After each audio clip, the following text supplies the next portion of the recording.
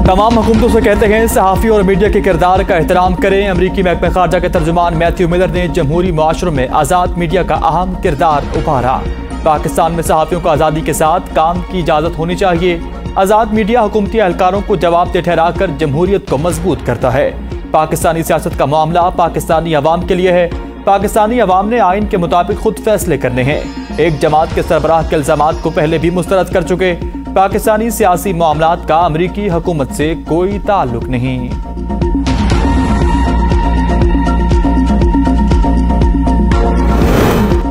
IMF चाहता है कि पाकिस्तान श्रीलंका बने और फिर हम मुजाकरात करें। इसाक डार ने सेनेट कायमा कमेटी से खिताब में कहा, हमारे खिलाफ जियो पॉलिटिक्स और साजिश हो रही कि पाकिस्तान डिफ़ॉल्ट कर जाए। स्टेट बैंक एक्ट में तरामीम की गई, वो नाकाबले बर्दाश्त हैं। ऐसी तरामीम हुई जो रियासत के अंदर रियासत को ज़ाहिर करती हैं। पाकिस्तान खुद मुख्तार मुल्क है, हम आईएमएफ की हर बात नहीं मान सकते। आईएमएफ के कहने पर नौजवानों को आईटी में रियायत देने पर पाबंदी आयद नहीं कर सकते।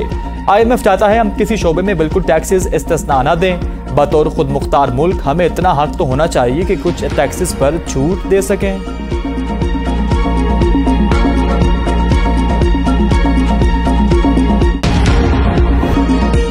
अवामी तो पर पानी फिर गया। रूसी तेल आने के बावजूद भी हुकूमत का पेट्रोल और डीजल की कीमतें बरकरार रखने का फैसला, रिलीफ के दावे धरे के धरे रह गए। रूसी तेल कौम को मुबारक देने वाली हुकूमत आवाम को रिलीफ ना दे सकी। मौजूदा कीमतें मजीद पंद्रह दिन बरकरार रहने का इम्कान।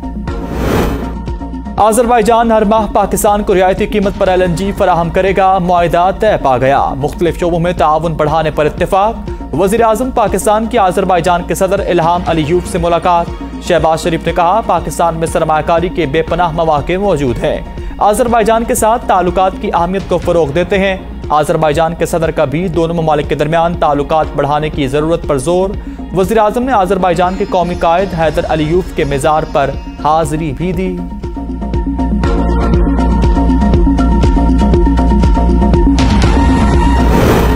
पाँच माह पहले कहा था, इस बंदे का वजूद रहेगा या हमारा वजूद रहेगा। इसकी सारी तैयारियों तक मेरी रसाई थी। विफाकी वजी दाखिला राना कहते हैं, ये आदमी फितना है, किसी कीमत पर अपने मुखालफी के साथ बैठने को तैयार नहीं। इसका सियासी वजूद मुल्क और कौम के लिए नुकसानदेह है। चेयरमैन पीटीआई, जेआईटी के सामने इल्ज़ाम का दिफा क्यों ना कर सके? वजीराबाद वाक़े का मुलजिम बिल्कुल सही मुलजिम है। मुलजिम ने तीन दिन पहले वजीराबाद से बीस हज़ार का पिस्तौल खरीदा। अगर साजिश होती तो क्या तीन दिन पहले पिस्तौल खरीदता? सारी चीज़ें रिकॉर्ड का हिस्सा हैं।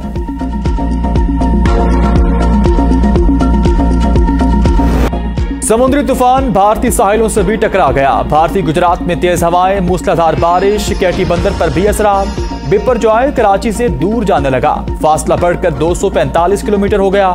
ठट्टा से तूफ़ान 200 किलोमीटर दूरी पर।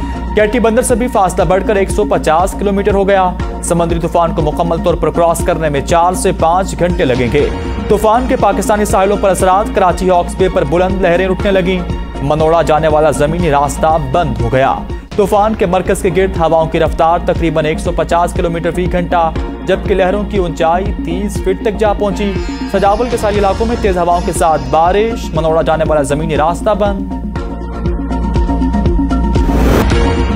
तारीख में पहली बार पीपल्स पार्टी कराची मेयर मुंतखब कराने में कामयाब। मुर्तजा वहाब को एक सौ तिहत्तर वोट मिले, जमात इस्लामी के हाफिज नईम रहमान एक सौ साठ वोट हासिल कर सके। मेयर कराची की वोटिंग के लिए पीटीआई के तीस अरकान पोलिंग स्टेशन नहीं पहुँचे। रिटर्निंग के मुताबिक बत्तीस अरकान गैर हाजिर थे। इकतीस अरकान पी टी आई के और एक टी एल पी का मेंबर शामिल।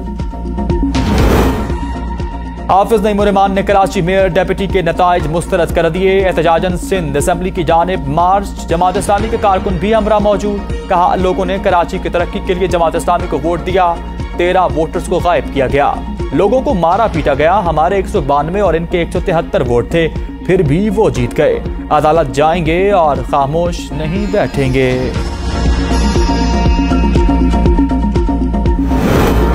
बिलावल भुट्टो का मुर्तजा वहाब की कामयाबी पर रद्द अमल, कहा मुल्क के मुआशी हब में नफरत और तकसीम की सियासत अपने मनतकी अंजाम को पहुँची। कराची भुट्टो का है एहतजाज, इनका हक है। पथराव की इजाज़त नहीं दे सकते। सबक सदर आसिफ जरदारी के मुर्तजा वहाब को मुबारकबाद, कहा कामयाबी कारकुनान की मेहनत का नतीजा है। पीपल्स पार्टी का मुख्तलिफ़ शहरों में जश्न।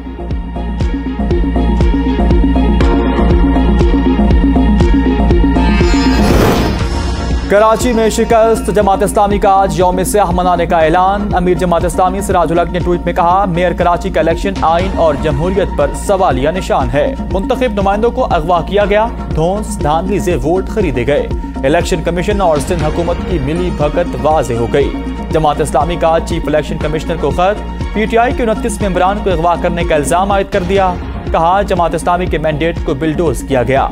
इलेक्शन कमीशन फ्रॉड अमल को कलदम करार दे।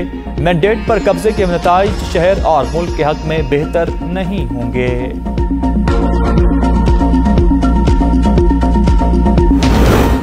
पीटीआई ने मेयर कराची के इलेक्शन के नतज मुस्तरद कर दिए। अदालत जाने का ऐलान साबित हो गया। पीपल्स पार्टी, जमहूरी इकदार और जमहूरियत की कातिल जमात है।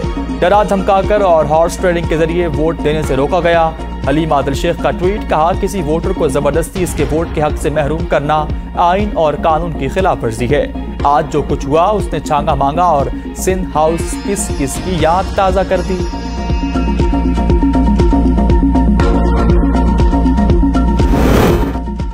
नजरसानी और अपील में बुनियादी फ़र्क है। दरख्वास्त गुजारों का मौकफ है। नजरसानी का दायरा कार बढ़ाएँ, लेकिन इसको अपील में तब्दील ना करें। चीफ जस्टिस के रिव्यू ऑफ़ जजमेंट एक्ट नजरसानी केस में रिमार्क्स। वक्त के साथ आर्टिकल एक सौ चौरासी तीन का दायरा कार वसी हुआ। नजरसानी का दायरा भी वसी होना चाहिए था।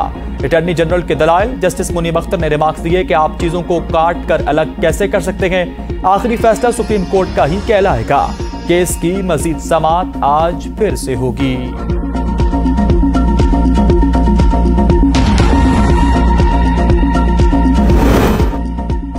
चेयरमैन तहरीक इंसाफ के खिलाफ तोशाखाना केस के ट्रायल पर हुक्म इम्तनाई में 20 जून जून तक तोसी बरतानिया में सात माह में ट्रायल मुकम्मल होने को भी ताखिर कहा जाता है। हमारे यहाँ तो क्रिमिनल ट्रायल्स भी ताखिर का शिकार हो जाते हैं। Chief justice Islamabad high court के रिमार्क्स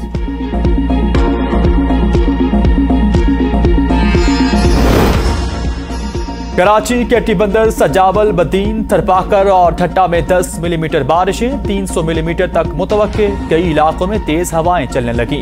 जखड़ चलने से निज़ाम ज़िंदगी दरहम बरहम हो गया। टंडो मोहम्मद खान, सांगड़ में भी बारिश, मुख्तलिफ़ सरकारी इमारतें और रिहायशी कॉलोनियाँ झील का मंजर पेश करने लगी। महकमे मौसमियात की मजीद दो रोज तक मूसलाधार बारिश की पेश गोई समुद्री तूफ़ान बिपरजॉय के पेश नज़र, पाक बहरिया का रेस्क्यू ऑपरेशन जारी। अब तक सत्रह हज़ार से जायद अफराद को महफूज मकाम पर मुंतकिल किया जा चुका। तर्जुमान पाक बहरिया के मुताबिक रेस्क्यू और मेडिकल टीमें किसी भी किस्म की हंगामी सूरत से निमटने के लिए हम वक्त तैयार हैं। कैटी बंदर और मुजाफियाती इलाकों से बड़े पैमाने पर लोगों की नकल मकानी। पाकिस्तान आर्मी की इमदादी सरगर्मियाँ भी जारी। ठट्टा में समुद्री पानी की लहरों में बेपनाह इजाफा। साहिल इलाकों में बारिश शुरू।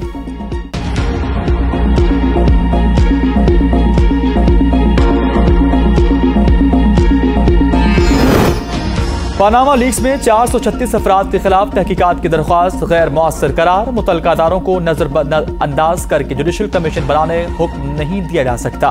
सुप्रीम कोर्ट ने तहरीरी हुक्मनामा जारी कर दिया। सीनियर ब्यूरोक्रेट असदुररहमान गिलानी कायम मुकाम, चेयरमैन नाजरा मुकर वज़ीर आज़म पाकिस्तान ने मंजूरी दे दी। सबक चेयरमैन तारिक मलिक के इस्तीफे के बायस अहदा खाली हुआ था। पंजाब हुकूमत का नौ मई के मुलजमान का जेल के अंदर ट्रायल का फैसला। निगरान वजी अला पंजाब मोहसन नकवी की जेर सदारत इजलास हुआ। मुलजमान के खिलाफ इंसदाद दहशतगर्दी एक्ट के तहत मुकदमात की समात रोज़ाना होगी। इजलास में फैसला। मुलविस शरपसंदों के खिलाफ कानूनी कार्रवाइयों को तेज करने पर इतफाक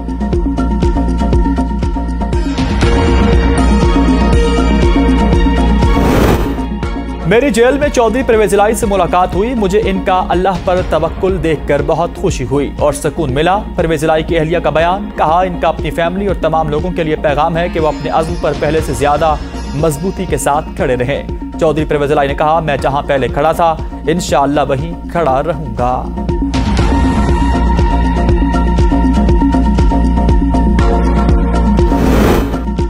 शहरियार आफरीदी को अदालती हुक्म के बावजूद पेश न करने के केस की समात इस्लामाबाद हाई कोर्ट ने फरीकैन के दलाल सुनने के बाद फैसला महफूज कर लिया। सरकारी वकील ने बताया, खत लिखने के बावजूद महकमा दाखिला पंजाब ने शहरियार आफरीदी को हवाले नहीं किया।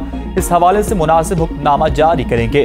जज के रिमार्क्स, केस की समात उन्नीस जून तक मुलतवी।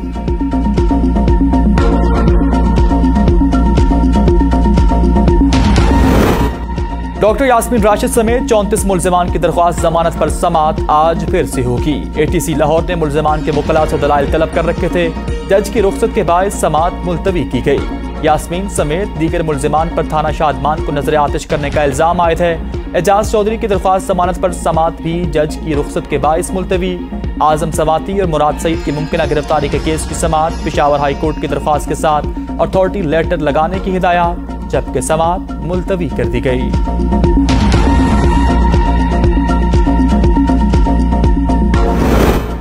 जिना हाउस तोड़ फोड़ जलाओ गिराओ मुकदमे में मतलूब 1100 मालूम और नामालूम मुलजमान की गिरफ्तारियाँ जारी। सियासी जमात से ताल्लुक न रखने वाले 160 मुलजमान को रिहा कर दिया गया। पुलिस रिपोर्ट के मुताबिक 25 मुलजमान को अदम शनाख्त पर अदालत ने डिस्चार्ज कर दिया। पकड़े जाने में ज़्यादातर जिना हाउस के तरफ़ के रिहायशी या ट्रैफ़िक जैम में फंसे हुए थे। दौरान तफ्तीश तमाम पहलुओं पर तहकीकात में बेगुनाह साबित होने पर आला हुकाम के हुक्म पर रिहा कर दिया गया।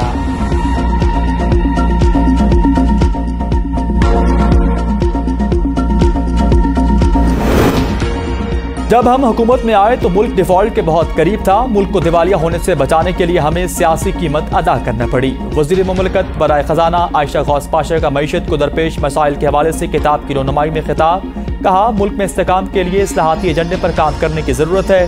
पाकिस्तान एक ऐसे मुआशी तूफ़ान से गुजर रहा, जो तारीख में हमने पहले कभी नहीं देखा।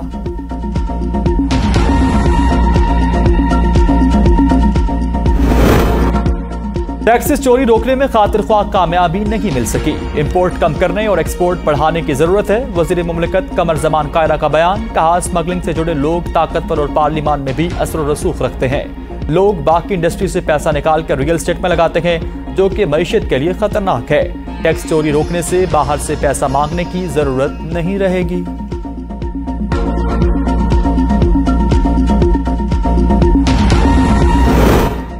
इंतहा पसंद लीडर मुल्क को खाना जंगी में धकेल रहा, विफाकी वज़ीर खुर्शीद शाह ने कहा, हम सब रियासत की मजबूती के लिए मुतहद हैं। अपने नौजवानों को तशद और इंतहा पसंदी की आग में नहीं झोंक सकते। जुबानी जमा खर्च के शौकीन शख्स ने ना तो अपने मंशूर पर अमल किया और ना वादे की पासदारी की। बदकिस्मती से इस रहनुमा ने हमेशा तशद तोड़ फोड़ की बात की। दुख है, नौजवानों की नुमाइंदगी की दावेदार जमात ने इनके लिए कुछ नहीं किया। पीटीआई की ग्यारह नुकात को बारह साल गुजर गए। आज तक किसी एक उसूल पर भी अमल नहीं हो सका।